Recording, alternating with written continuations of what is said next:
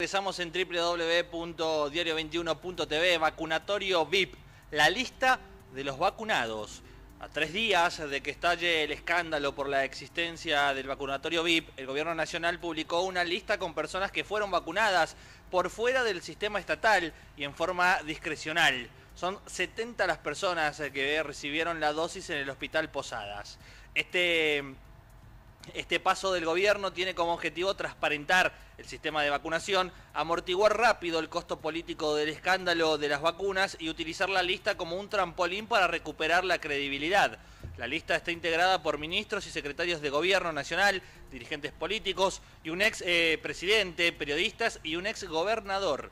Entre ellos se encuentran el expresidente Eduardo Dualde, su esposa Hilda González y sus hijos Juliana y María Eva, también su secretario privado, eh, Carlos Mao. También está el embajador argentino en Brasil, Daniel Scioli. También el procurador de Tesoros, Carlos Zanini, y su esposa, Patricia Alzúa. El senador nacional, Jorge Tayana. Y el diputado nacional, Eduardo Valdés.